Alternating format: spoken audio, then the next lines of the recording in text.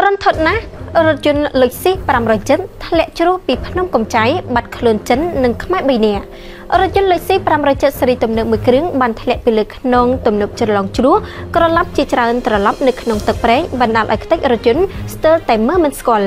គ្រោះថ្នាក់នេះក៏បានកាត់ឡើងកាលពីម៉ោង7:08យប់នៅថ្ងៃទី28ខែកញ្ញាឆ្នាំ2022នៅចំណុចវិរីអគិសនីកំចាយស្ថិតនៅក្នុងភូមិស្នំ7ឃុំម៉ាក់ប្រាំងស្រុកទឹកឈូខេត្តកំពត សមត្ថកិច្ចមិនបានបញ្ជាក់ពីមូលហេតុនៃការគ្រោះថ្នាក់នេះទេហើយក៏មិនបង្ហាញរបាយការណ៍លម្អិតផងដែរដោយសារតែតំបន់នោះមានការហាម5មិនអនុញ្ញាតឲ្យអ្នកដទៃក្រៅពីបុគ្គលិកចូលទៅជិតបានឡើយសមត្ថកិច្ចគ្រាន់តែបង្ហើបថារថយន្តរងគ្រោះបានបើកសរសៀតាមខ្នងទំនប់ឡើងទៅកាន់តំបន់វារីអគ្គិសនីកំចៃដែលមានកម្ពស់រាប់រយម៉ែត្រតំណងជានៅពេលកាត់ហេតុយប់ងងឹតផងហើយខ្នងទំនប់មានទំហំតូចទៀនទើ បរថយន្តបើកធ្លាក់ចុះជ្រោះក្រឡប់ជាច្រើនត្រឡប់ធ្លាក់ទៅផ្នែកខាងក្រោមមនុស្ស3នាក់ធ្វើដំណើរតាមក្នុងរថយន្តមានជនជាតិចិន2នាក់និងជនជាតិខ្មែរម្នាក់ជាអ្នកបើកបរបានបាត់ខ្លួនមិនដឹងជាគ្រោះថ្នាក់ដល់អាយុជីវិតឬរសាត់ទៅតាមទឹកហូរនោះឡើយព្រោះនៅម៉ោងជាង10យប់ទ្វារទំនប់វារីអគ្គិសនីបានបើកបង្ហូរទឹក ទម្លាក់ចុះក្រោមផងដែរស្ថានភាពកម្ពស់ទឹកស្ទឹងប្រៃថ្នោតនៅមិនទាន់ហក់ឡើងខ្លាំងគួរឲ្យបារម្ភនោះទេបើទោះបីជាមានការបើកទ្វារទឹកនៅព្រឹកនេះក្តីប៉ុន្តែស្ថានភាពទឹកនៅទំនប់7មករាតាមសណ្ដោស្ទឹងព្រែកថ្នោនមានសភាពធម្មតាមិនបានហក់ឡើងខ្លាំងគួរឲ្យព្រួយបារម្ភនោះទេនេះបើតាមលោកម៉ៅហអនុប្រធានអញ្ញាធរទន្លេសាបបានឲ្យដឹងថាអតិពលព្យុះនូរុបានថមថយអស់ហើយនៅព្រឹកនេះបើតាមការប្រកាសរបស់ក្រសួងអតិពលព្យុះទី16នឹងធ្វើឲ្យខេត្តមួយចំនួនអាចហក់ឡើងនៅក្នុងរយៈពេល3ទៅ4ថ្ងៃខាងមុខនេះប៉ុន្តែមិនទាន់ដល់ការប្រកាសឲ្យមានការប្រុងប្រយ័ត្ននោះទេ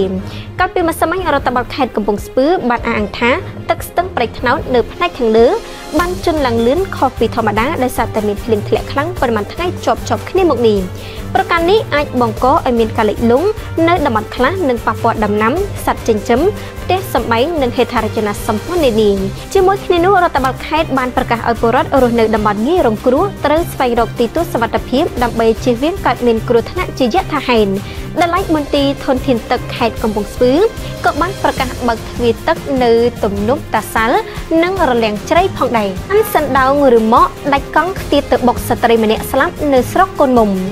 រថយន្តសណ្ដោងឬម៉កប្រភេទវេអងមួយគ្រឿងបានដាច់កង់ខាងក្រោយហើយបានខ្ទាតទៅបុកស្ត្រី មានឈ្មោះមីភាអាយុ32ឆ្នាំកំពុងតែទិញម្ហូប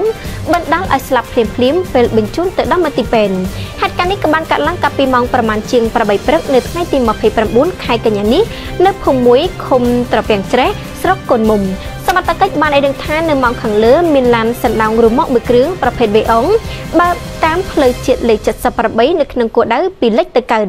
លុះទៅដល់ចំណុចកាត់ហេតុក៏បានដាច់កង់ក្រោយផ្នែកខាងស្ដាំខ្ទាតទៅបុកស្ត្រីម្នាក់ដែលកំពុងតែឈរទិញម្ហូបនៅតាមចិញ្ចើមផ្លូវបណ្ដាលឲ្យដួលបោកទៅនឹងថ្នល់សន្លប់នៅនឹងកន្លែងតែជាអកុសលក៏បានស្លាប់នៅពេលបញ្ជូនទៅដល់មណ្ឌលសុខភាពចំណែករថយន្តបង្កបានព្យាយាមបើកកិច្ចខ្លួនប្រហែលជា4គីឡូម៉ែត្រទើបសមត្ថកិច្ចចាប់ខ្លួនបានចំណែកឯតកុងបានរត់តិចខ្លួនបានអ្នកកាសែតបៃថ្នាំដែលបានបាញ់បោះផ្អើលអ្នកភ្នំពេញនិងខេត្តកណ្ដាលត្រូវបានឃុំខ្លួនហើយខមមិនកំភ្លើងដែលធ្វើសកម្មភាពបាច់បោះអាណាធិបតេយ្យនិងជាមុខសញ្ញាប្រប្រាស់នឹងជួយដូរគ្រីញិនហើយបានកាន់កាត់ជាអ្នកសារព័ត៌មានផងនោះត្រូវបានចៅក្រមសម្រេចឃុំខ្លួនហើយក្រុមការចោតប្រកាន់ចំនួន3ករណីគឺកាន់កាប់អាវុធនិងប្រើប្រាស់អាវុធខុសច្បាប់ ធ្វើឲ្យខូចខាតដោយចេតនាមានស្ថានទង្វើទោសនិងប្រើប្រាស់គ្រឿងញៀនក៏រំលឹកថាកាលពីរសៀលថ្ងៃទី27ខែកញ្ញាកន្លងទៅមានករណីបាញ់បោះយ៉ាងអនាធិបតេយ្យមួយកាត់ឡើងនៅខណ្ឌជ្រោយចង្វារាជធានីភ្នំពេញនិងផ្លូវជាតិលេខ4ស្រុកអង្គស្រួលខេត្តកណ្ដាលបង្កឡើងដោយឈ្មោះញឹកសវុតថាហៅស្រួយភេទប្រុសអាយុ37ឆ្នាំកាន់កាត់ជាអ្នកសារព័ត៌មានគេហទំព័រសង្គមអភិវឌ្ឍហើយត្រូវបានសមត្ថកិច្ចតាមប្រម៉ាញ់និងខាត់ខ្លួននៅម្ដុំផ្សារបៃច័ន្ទស្រុកអង្គស្នួល